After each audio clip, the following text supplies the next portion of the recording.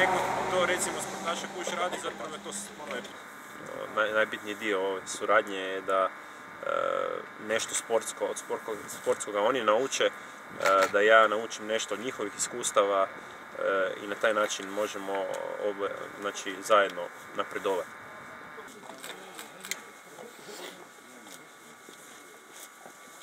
Dakle, ono što mogu reći da su to vrhunski profesionalci iz jedne i iz druge postrojbe, ono što ih čeka ovdje nisu baš uvjeti koje smo mi preželjkivali za prvi mjesec. Dakle, mi smo očekivali snijega jedno pola metra, temperature u minusu, e, vjetar, led.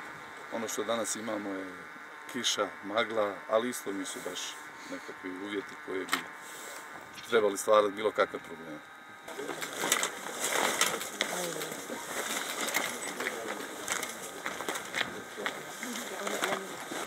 Zapovjedniče, mi smo spremni.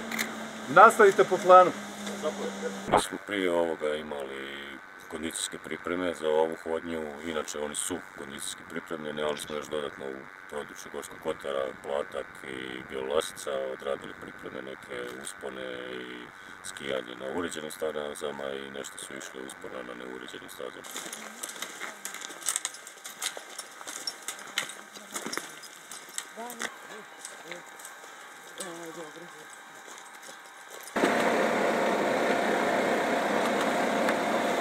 Uvjeti su onak jesenski, ništa posebno, jedino kad je teški, teški su ruksaci, to je problem.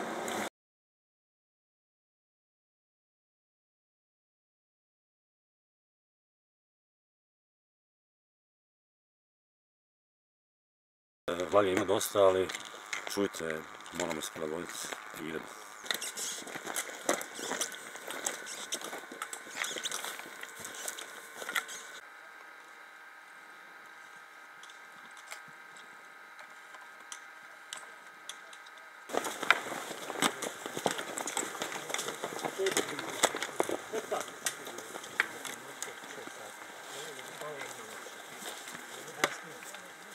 Dakle, u trenutku skoro smo došli do kraja. Prije svega želio bih sve pohvaliti, pogotovo zapovjednika tima, sve pripadnike kao i našega gosta Kostelića. Dakle, odradili su vrhunski posao, to sam ja znao čim su i krenuli. Prije svega ono što cijenim to su odluke zapovjednika tima koji je jasno definirao sve etape, brzinu, tempo. Dakle, kao što i sam rekao, za Hrvatske vojnika nema prepreke. Oni su to napravili najbolje što smo mogli.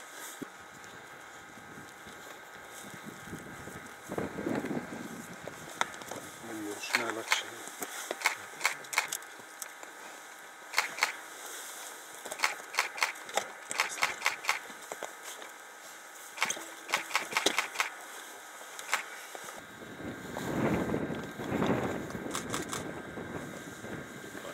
Dakle, što se tiče vremenskih uvjeta, kao što sam rekao na početku, nama bi više odgovaralo da je gore bilo metar snijega. Oni bi sigurno još brže išli nego što je sad.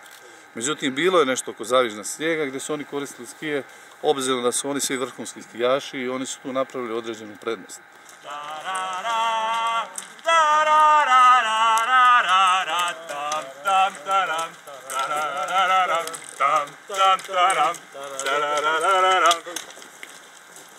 Ovoga, evo, sama činjenica, recimo 26 km, od toga je skoro pa sve uspon, e, više od 50 kg opreme, čovjek koji je težak, evo ovaj tu e, čovjek iz mene, znači 70 kg je težak sam, a nosio je 50 kg gore uz to brdo, pa vi sad prosudite koliko je to teško.